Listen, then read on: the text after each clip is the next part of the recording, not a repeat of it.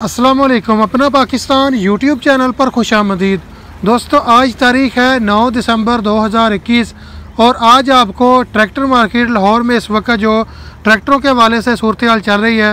उसके हवाले से कुछ दो तीन ज़रूरी अपडेट्स हैं जो आपके साथ शेयर करेंगे। एक तो जी, काफ़ी दोस्तों ने पूछा था कि एम एफ़ तीन सौ पचासी और एम एफ़ दो सौ साठ इस वक्त मार्केट में मौके पर कितने का मिलेगा? और इसके अलावा इस वक्त जो टैक्स के हवाले से एक नया कट्टा खुला हुआ है कि जो ट्रैक्टर के ऊपर पहले पाँच परसेंट सेल टैक्स था, उसको अब सत्रह परसेंट किया जा रहा है। तो इसके हवाले से भी बात करेंगे और इसके अलावा जो मिलत कंपनी तीन सौ पचासी ट्रैक्टर को जो सर्विस का टायर लगा कर दे रही है, इस हवाले से काफ़ी दोस्तों ने पूछा था। तो सबसे पहले बात करते हैं जी, आज एम एफ़ तीन सौ पचासी का जो मौके पर रेट है, आज तीन सौ पचासी जो है ये लाहौर में उन्नीस लाख पंद्रह हज़ार में ये सेल हुआ है।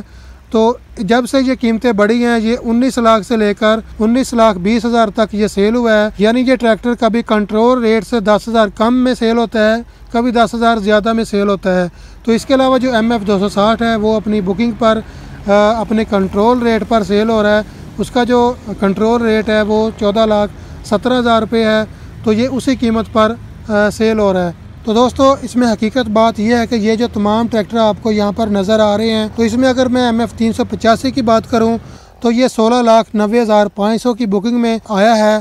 तो इस वक्त जो ट्रैक्टर सेल हो रहे हैं, इस पर जो इन्वेस्टर है, वो बहुत ज़्यादा मुनाफा कमा रहा है। यानी ये उन्नीस लाख अगर दस हज़ार में या पंद्रह या बीस हज़ार में भी सेल करता है, जिस कीमत में उसने ख़रीदा है, वो सोलह लाख नब्बे हज़ार पाँच सौ है। तो अब जो नई कीमत में ट्रैक्टर बुक करवाएगा, उसको आज से पाँच छः महीने बाद ट्रैक्टर मिलेगा तो जितने भी ट्रैक्टर इस वक्त मार्केट में आ रहे हैं, ये पुरानी बुकिंग पर हैं। तो अगर ये मौके पर अपना जो कंट्रोल रेट है, उससे कम में भी सेल करते हैं तो इनको बहुत ज़्यादा फ़ायदा है। तो इसके अलावा जो टैक्स के हवाले से नई खबर जो है जो मार्केट में फैलाई गई है कि जल्दी जल्दी आप ट्रैक्टर बुक करवा लें। ट्रैक्टर जो है जो महँगे हो जाएँगे, इसके ऊपर टैक्स लागू हो जाएगा। तो इसमें सूरत हाल ऐसी है कि गवर्नमेंट ने फैसला किया है कि मिनी बजट पेश किया जाएगा, जिसमें ट्रैक्टरों के ऊपर सत्रह परसेंट सेल टैक्स कर दिया जाएगा। लेकिन उसमें जो ज़िम्मेदार होगा, उसको, उसका जो सेल टैक्स है, वो रिफ़ंड किया जाएगा। पाँच परसेंट उसका काटा जाएगा और बाकी जो है, बारह परसेंट उसका जो सेल टैक्स है, ज़िम्मेदार को रिफ़ंड किया जाएगा। यानी जो भी बंदा ट्रैक्टर ख़रीदेगा, वो सत्रह परसेंट सेल टैक्स अदा करेगा। उसके बाद वो अपना प्रूफ देगा गवर्नमेंट को कि मैं ज़िम्मेदार हूँ और वो फ़र्द अपनी जमा करवाएगा। तो उसके बाद उसका जो सेल टैक्स है, बारह परसेंट उसको रिफ़ंड कर दिया जाएगा।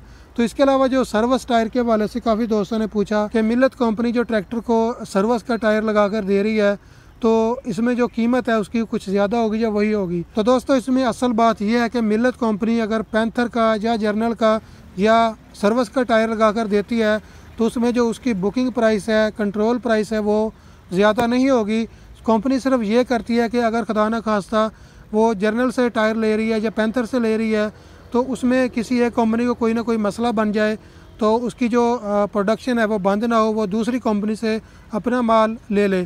तो इसलिए कंपनी जो है वो जितनी भी कंपनियाँ टायर पाकिस्तान में दे रही हैं, उनसे माल लेती है। इसमें कीमत का, चूँकि सर्विस का टायर थोड़ा सा अच्छा है, इसकी ग्रेप भी अच्छी है तो फ़िलहाल ये अब ट्रैक्टर को लग कर आ रहा है। तो जब ये चलेगा तो उसके बाद उसका रिज़ल्ट भी आएगा।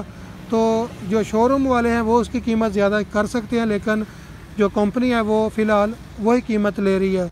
चाहे आप जर्नल का ले लें, पैंथर का ले लें या सर्विस का टायर आप ले लें, लेकिन उसकी जो बुकिंग कीमत है वो वही है। तो दोस्तों, वीडियो के बारे में अपनी राय ज़रूर लिखें। वीडियो अगर अच्छी लगे, इसे लाइक करें, दोस्तों के साथ शेयर करें और मज़ीद इस तरह की वीडियोस देखने के लिए हमारे चैनल को सब्सक्राइब करें। वीडियो देखने का शुक्रिया। अल्लाह हाफिज़।